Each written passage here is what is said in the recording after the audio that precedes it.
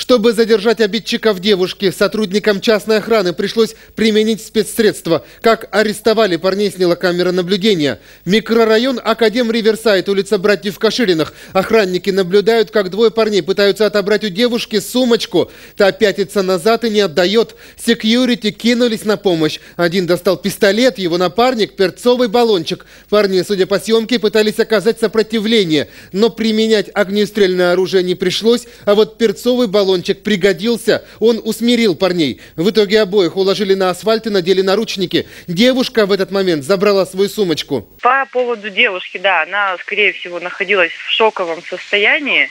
Сумочку, которую преступники а, выхватили у нее из рук, она а, схватила ее с пола, то есть там по видео это тоже видно, и убежала. Но потом, видимо, как-то так она осознала, пришла, грубо говоря, в себя. И уже когда приехали, подъехали сотрудники полиции, она спустилась и дала, скажем так, свои показания.